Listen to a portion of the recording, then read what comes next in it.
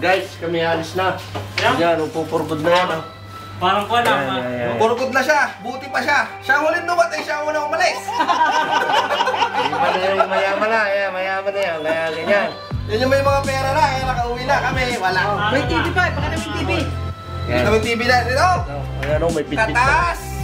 Katas ng Papa Dance niya! 55 inches. Hello! Ayun daw, daw. Hello! Ayan. Subscribe to Mercury Wave! Kim! Si ni Tito! Hey, Kim! Ate Kim!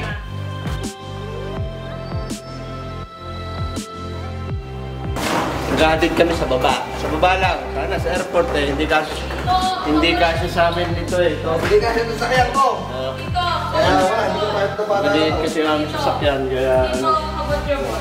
Yan. Okay guys, yan.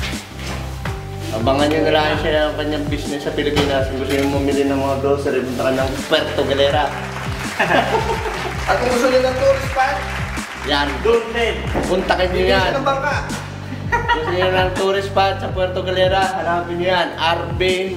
Ilyana. Iliana. Purilan, ano? Ilyana. Yes. Okay guys. See you, see you na lang tayo sa Pilipinas.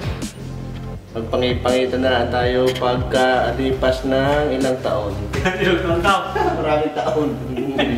Hindi ko pa alam kung kailan uwi ko. Hindi ko pa alam kung kailan talaga sentensya dito. Mangingisda pa kami dito sa Dubai. Yung anong pag-ano dito. Okay guys, see you. Oh guys, eto na. Naisakay na namin. Ayan, mamaya na pisan. Ingat, thank you ah. Oh, sige, ingat, ingat.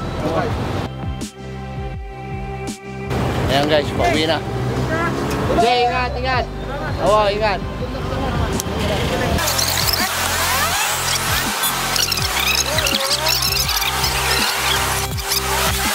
May umexit na naman sa bahay ni Kuya.